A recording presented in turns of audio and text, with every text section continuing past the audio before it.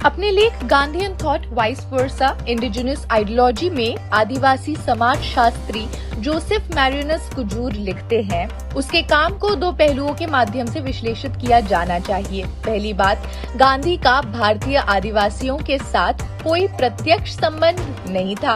और उनकी लेखनाओं में आदिवासी मुद्दों के बारे में कोई विशेष विचार नहीं है।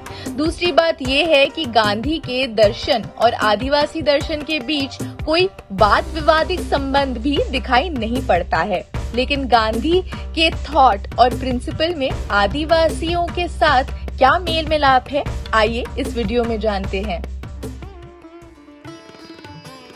1940 के दौरान से ही गांधी के दर्शन को दलितों, पिछड़ों, महिलाओं और विद्रोही संघर्षों के संदर्भ में समझने के प्रयास हुए हैं।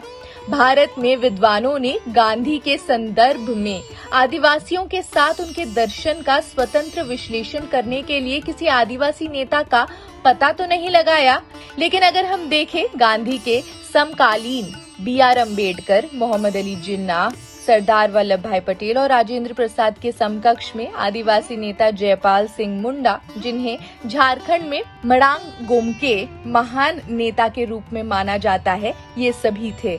गांधी को दक्षिण अफ्रीका में जातिवाद का अनुभव हुआ और वो जूलू और अन्य अफ्रीकी आदिवासी समुदायों की ओर से उनके उपन्यास के साथ उनके गुलामी और शोषण के विषय में बात करते रहे।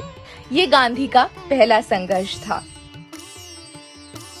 गांधी का मानना था कि धर्म की प्रधानता किसी भी चीज़ के ऊपर है और वो एक व्यक्ति का व्यक्तिगत मामला है। हालाँकि आदिवासी दृष्टिकोण ये मानता है कि परम कर्ता उनके बीच ही है।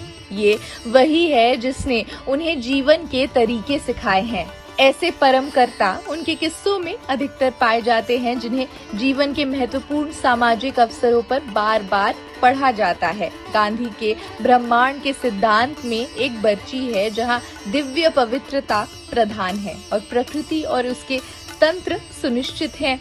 आदिवासियों के पास भी एक बच्ची है, जो एक प्राकृतिक वास्तविक दुनिया और प्रभावशाली दुनिया के बीच विभाजित है प्राकृतिक वास्तविक दुनिया समान है, जबकि दिव्य दुनिया में विभाजन है।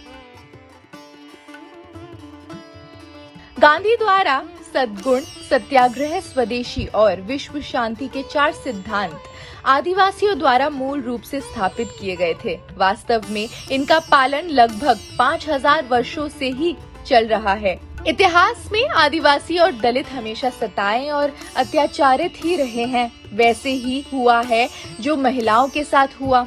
उनकी मेहनत, उनकी कला, विज्ञान और बुद्धि कभी भी मान्यता नहीं प्राप्त कर पाती है मेन स्ट्रीम में। लेकिन ऐतिहासिक रूप से आदिवासी जीवन के जो तीन मूल्य आवश्यकताएँ हैं, खाने की चीज़ें, कपड़े और घर, उसमें आत्मनिर्भर रहे हैं। वे अपना खुद का नमक भी बनाते थे।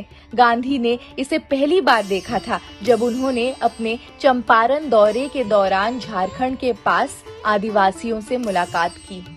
खैर, इस वीडियो में बस इतना ही। आपको कैसा लगा कमेंट सेक्शन में ज़रूर बताएँ। बाकी देश दुनिया की खबरों के लिए भी आप देखते रहिए जनसत्ता। शुक्रिया।